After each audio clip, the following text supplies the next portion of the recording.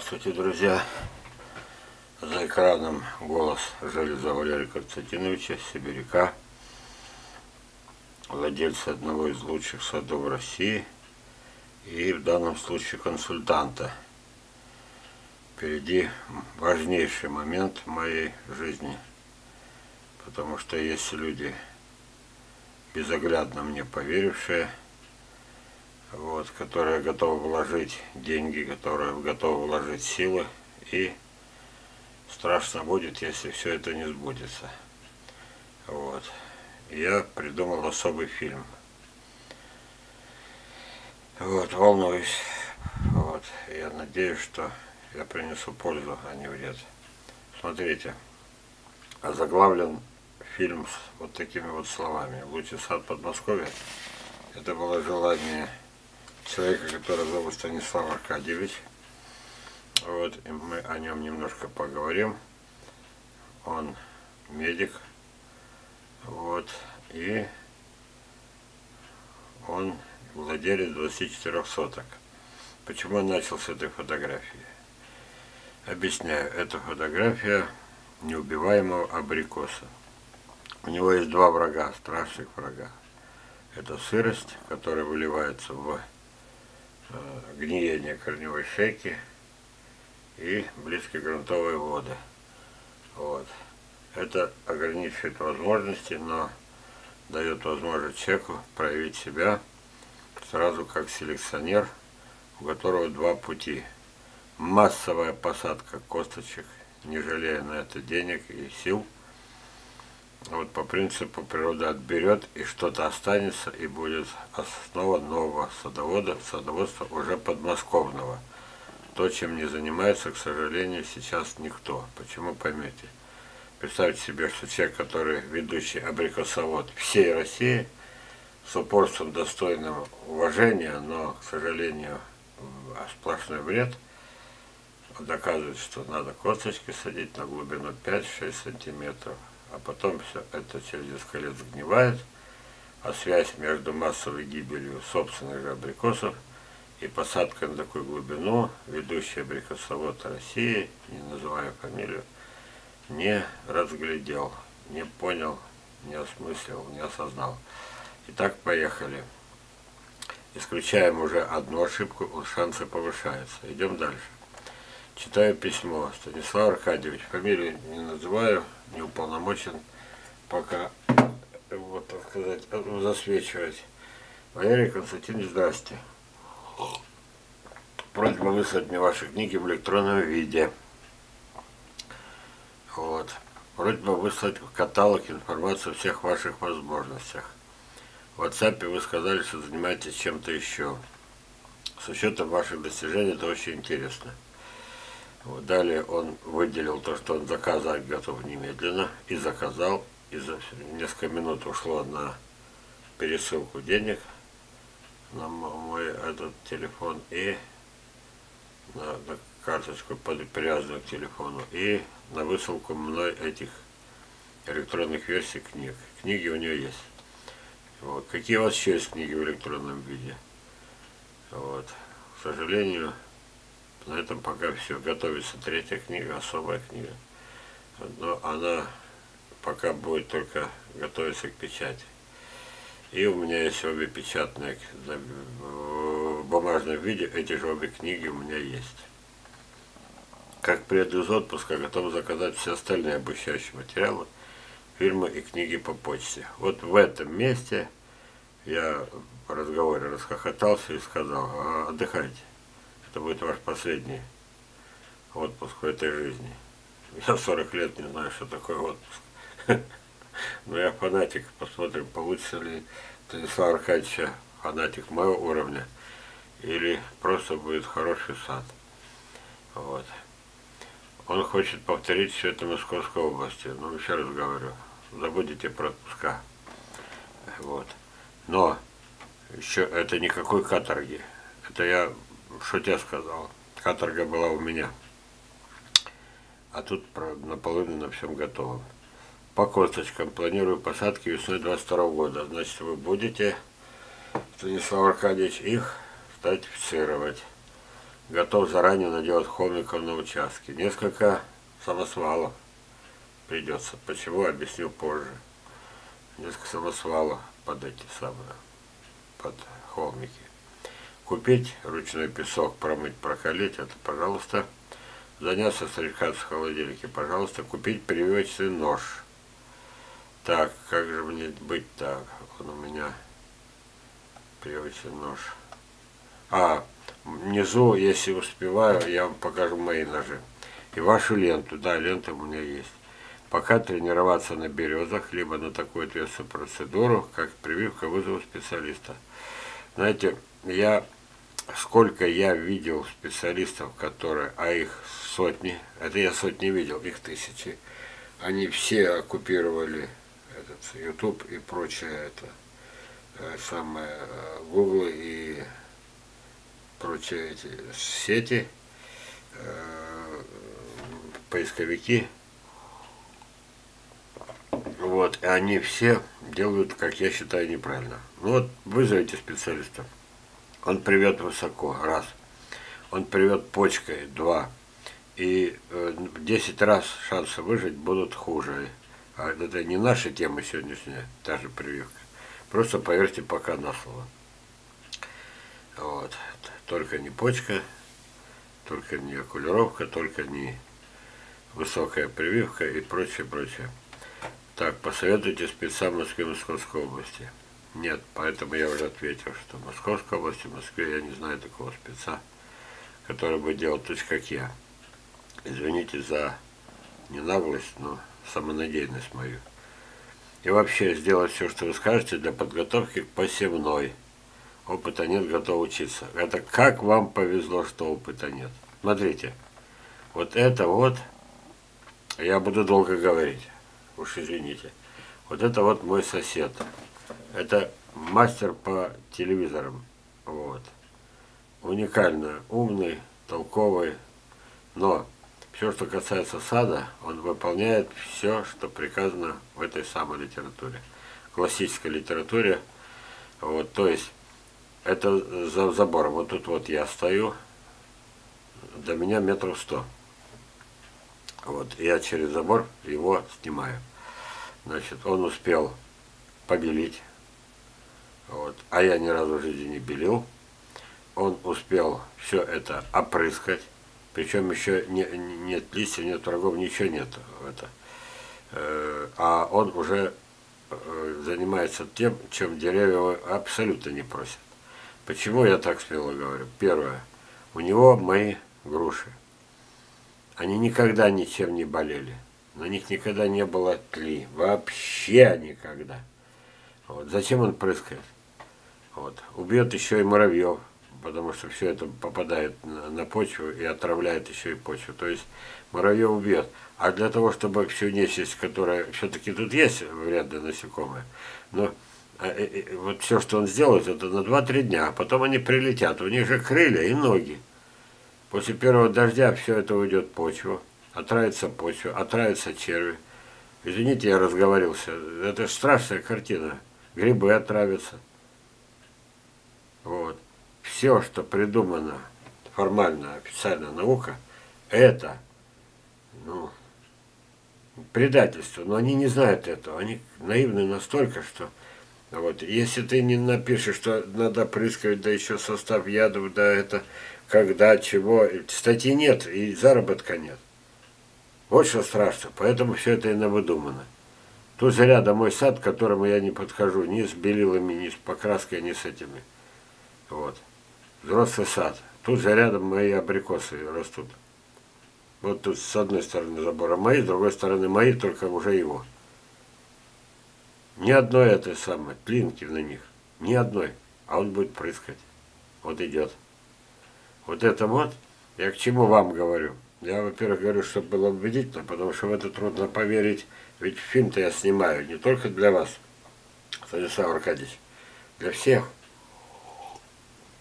Я хочу, чтобы мне поверили. Просто поверили. И тогда получается, что ваша жизнь сильно не изменится. То есть у вас не будет этой каторжной работы. Помните, я показывал, еще покажу в других фильмах на моем канале, увидите. Три, об- это, три обрезки за год. Ну что делать нечего. Вы знаете, как они рисуют эти рисунки? А там на рисунке полсотни веточек надо отрезать. А вы отрежьте, попробуйте полсотни. Да со стремянки еще. А вы замажьте каждую. Искалечить дерево, да с таким трудом. Видите, я уже не выдержал. Взялся за критику. Идем дальше. В общем, э, Аркадьевич, я вас избавляю от страшного труда, тягостного. Вот. Границы возможного. Это мой сын Артем, живет на Украине, а у меня э, он учился и зарабатывал деньги. Посмотрите, это черешня в моем саду. Посмотрите, как природа делает. Здесь живо, выше мертво. Это был 40-градусный мороз, тут ничего не скажешь. И для чего я этот снимок покажу? Потому что я учился сам у себя в своем саду. Итак, внимание. Первое. Сдерживание роста. Почему? Эту девочку зовут Юлия Матвеева. А вот она набралась наглости и попросила, я уж такой в хорошем смысле, и у своих преподавателей из Омского университета попросилась на практику к Железову. И каким-то чудом мне эту практику это засчитали. Производственная практика. Потому что я никто. Вот. И э, кроме нескольких прозвищ. э, Вроде руководителя секты, шамана. Я ничего не заработал пока. А вот здесь получается учеба э, живого человека, который потом Юлия Матвеева уже стала владельцем чего, догадайтесь. Аркадьевич, это и вас касается, надеюсь, питомника, плода питомника. И уже выращивает саженцы на продажу. Не приехала бы ко мне. Вы знаете, ее любимое занятие, это, например, э, это, например, войлочная вишня. Это такой куст, который ветки идут от самой земли. А представляете, если бы она, ее кто-то учил, она бы изуродовала бы этот несчастный куст, э, отреза ветки до высоты 50, 80, 90 сантиметров, делая штамп. Нет. Вот поэтому у нее теперь успех. И вот она позирует в данном случае. Заметьте, штампа не делается, а все наоборот. Вот. Много ли труда отрезать верхушку? И что мы имеем? И для чего имеем? Итак, первая причина – сдерживание роста. И надо было тут написать сдерживание роста э, штамба, сдерживание роста скелета. А второе – внимание. И почему это касается именно вас и еще многих людей, Аркадий? Внимание. Сдерживание роста и корней. Держали рост вверх, держится рост вниз, потому что корни и крона – это единое целое. Поняли, да? Это какой-то степени поможет. А почему это надо? Давайте ниже. Вот это Москва. Это я из интернета, но это свежее. И это случилось сегодня у нас 2 июля, это случилось несколько дней назад.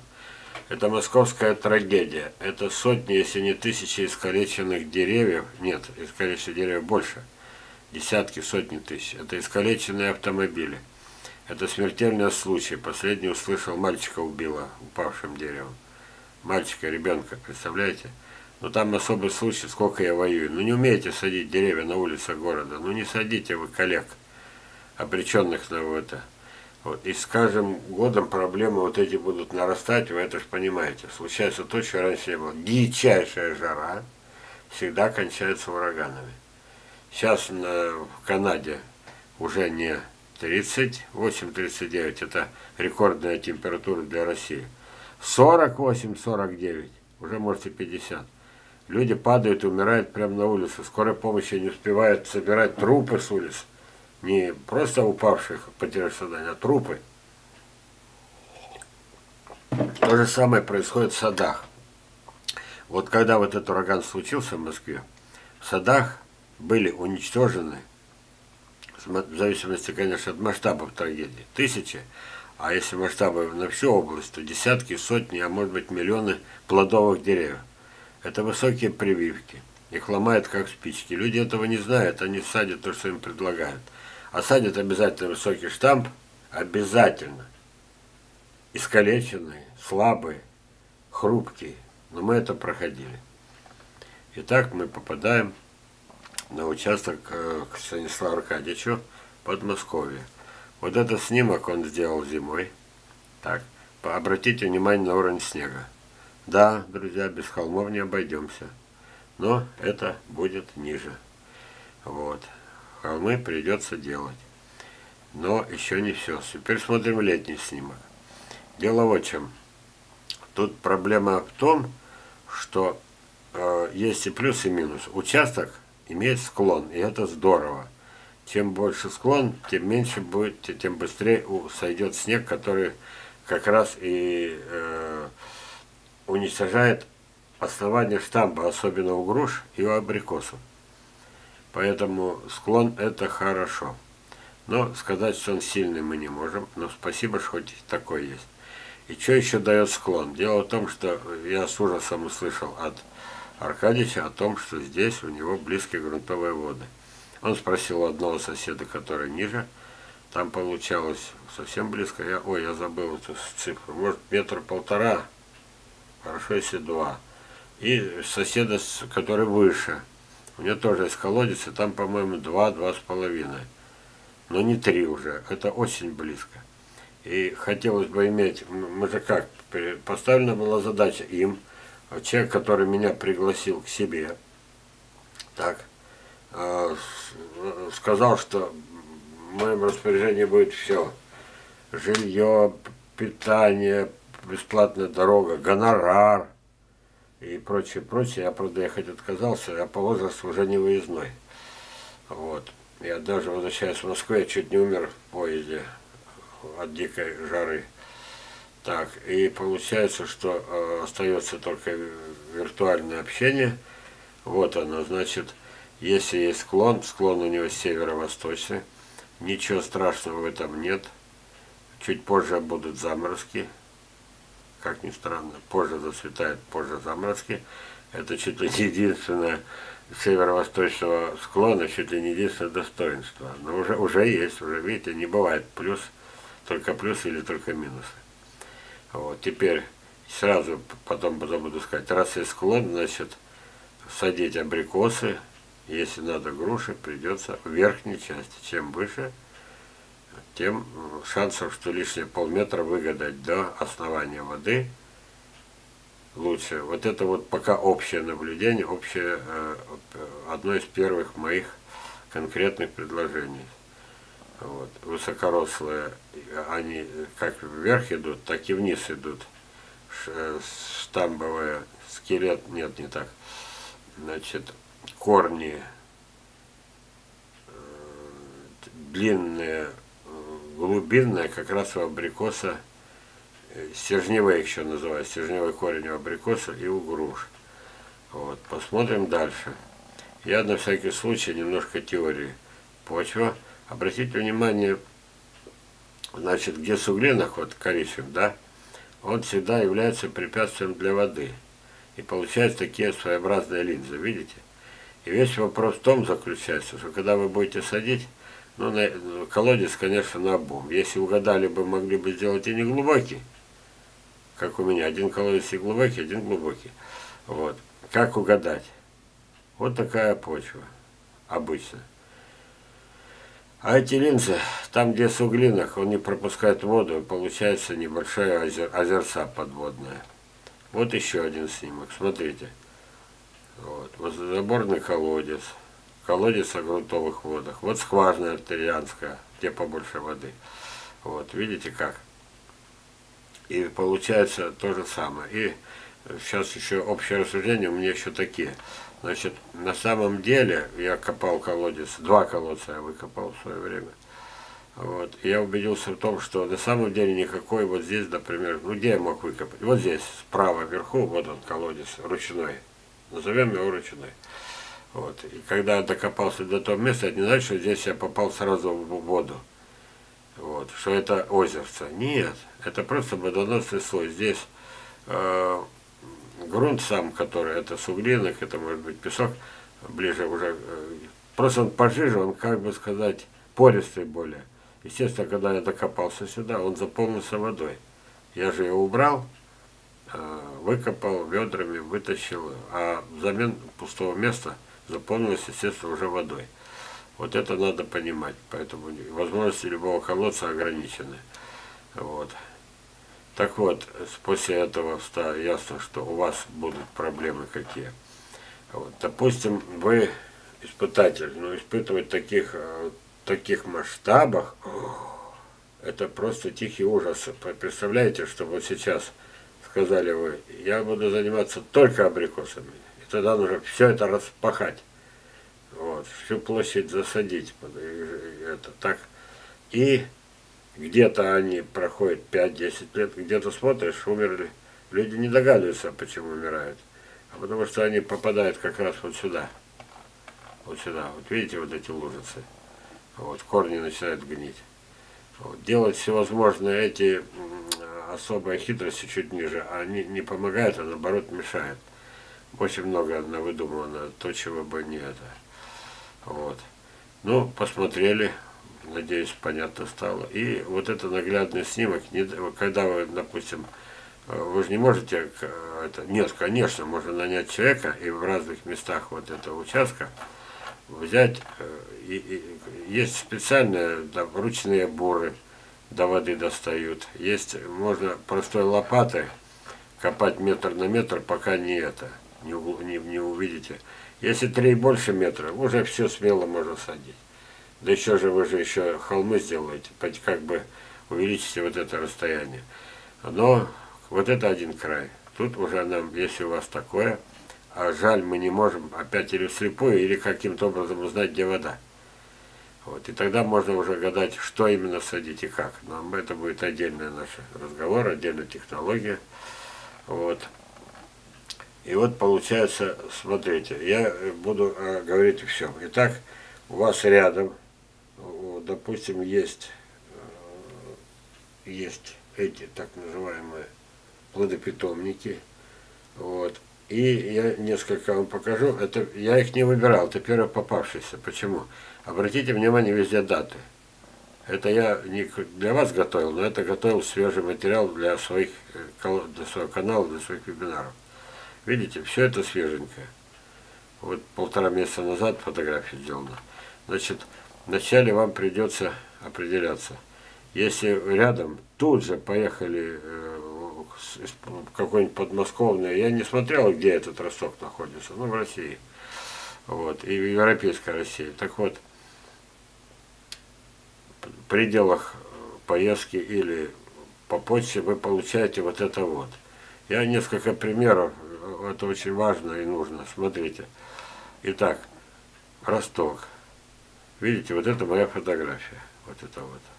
Моего сада. Я показываю несколько раз. Просто уж, если вы мне доверились, то верьте уже до конца. Это моя фотография. Она сюда попала из интернета. Вот эта фотография из интернета, это из интернета, это из интернета, это из интернета, это из интернета. Вот. Попробуйте вы позвонить, например, и пусть бы вам показали сад, где это все фотографии делались. Вот. Тогда задать вопрос, почему тогда у вас не ваши? Или у вас некачественные плоды, гораздо хуже, или вообще у вас нет никакого сада. Или как э, этот, э, сады Урала с Миролеевой, которые присвоили 6-8 моих фотографий, специально не говорю точно, они до сих пор еще не знают это, и до сих пор используют их. Вот. А у самих сада нет. Где они их берут? Тогда в другом питомнике. А где другой питомник? Под пыткой не признаются, потому что явно, что это все южное. Вот этот момент, да. А теперь обращаем внимание на цифры. 390-390.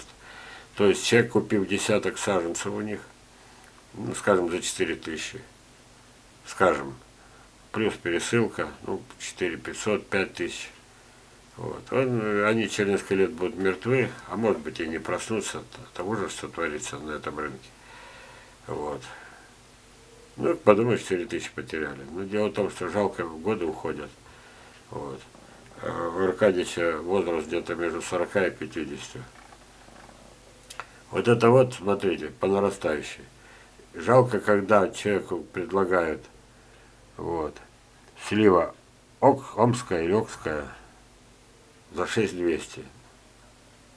А чем она хороша? 2,050, 2000, 2000, 2000, 2000, 2000. Внимание! 46 тысяч. Это не это. Не это. Тут, э, ладно, тут подумайте, что лишний ноль. Я убедился, нет, что, что это просто не то, что случайно лишний ноль добавили. 46 тысяч стоит слива синяя. Нет такого сорта слива синяя. Вот, сами придумали. Фотографии, естественно, из интернета. Опять две с половиной. А это уже разорительно. Куда вам соваться? А, Аркадьевич? А вот это вот, я ради цены. Итак, захотелось бы иметь вишни черешни. Смотрим. Вот. Еще вишня, которая, в принципе, растет как сорняк, ее можно иметь столько, что не поверите. А, в общем, сейчас смотрите, что происходит. У меня через три минуты закончится примерно зарядка. Видимо, батарейки уже не те. Заряжал, заряжал. И, и больше получаса она не это, потом отключается, эта видеокамера на моем этом, фотоаппарате. Ну, что успею. А потом будет следующая серия, следующая серия. Итак, 250, 250, 250, 250, 250. И вдруг 27 тысяч. За что? Почему? Вишня, которая по виду не отличается от всех других. Ну, фотографии из интернета. Вот видите, что творится? Это за 2000 закажет человек скромным достатком, а олигарх скажет, не, в 10 раз дороже, 15 раз дороже вот эту, но зато у меня будет, у, -у, -у вот, это все, вот. ну, наконец, крупный план, 3800, абрикос, жигулевский сувенир, опять, вы заметите, все, фотография свежая, то есть это не то, что где-то когда-то, это сейчас так продают, 3800, недороговато ли, за что? Фотографии из интернета. Я как сделал? Я набрал, так, вот здесь нажал, похожее в Яндексе нажал и получил, смотрите, сколько их. Вот здесь вот их 11-12, да, это я фотографировал с экрана. Посмотрите справа, где находится это. Когда я до конца долистаю, вот так вот буду листать, это примерно еще умножить на 10. То есть здесь не меньше 120 сайтов, 120 плодопитомников, которые сочли за честь присвоить чужую фотографию. Ясно не ихняя. Вероятность, что это вы сфотографировали в своем саду, ноль. А цена за чужую фотографию, неизвестно за что, 3 800. Видите? Вот мы одну тему разобрали, куда крестьянину подал. А, 46 350. За синяя слива. Нет такого сорта. И опять, поняли, да? 46 тысяч. Это, то есть я подчеркнул как – это там лишний ноль, помните, а оказывается нет. Все правильно. 40, 46 тысяч. Думайтесь в это. Вот. То есть куда крестьянину, куда податься медику. А вот сюда. Сейчас у меня останется полторы минуты, а потом перерыв, а потом будет серия номер два. Вот это вот саженцы, которые продает железо. Наверное, вам Аркадий, все-таки какое-то количество можно готовых, они у него идут от тысячи до полутора. Ну, я специально все-таки не, не, не такой наглый, да. Тем более они реальные, не настоящие, настоящего сада. Вот, таких на всю страну всего несколько. Итак, селекция по неволе. Это будет тема следующая, потому что у вас выхода нет. Или сразу переходите в следующую, как сказать-то, это будет совсем другая жизнь. Помните, я полушутя, полусерьезно сказал, что это ваш последний отпуск. Специально пугаю. Вот. Но, с другой стороны, я не медик, но мое крылатое выражение сам придумал. Время, проведенное в саду, не засчитывается в срок жизни. Ну вот, друзья, сейчас он отключится и батарейки моргают, и время у него заканчивается, почему-то не больше 30 минут. Вот. Пока я с вами прощаюсь, теперь сутки до за 5 зарядку этих самых, на новые батарейки, аккумуляторы жалко денег. Вот, пока. Но впереди увлекательное путешествие по моему, по моему этому. Мы с вами только 5% посмотрели то, что надо.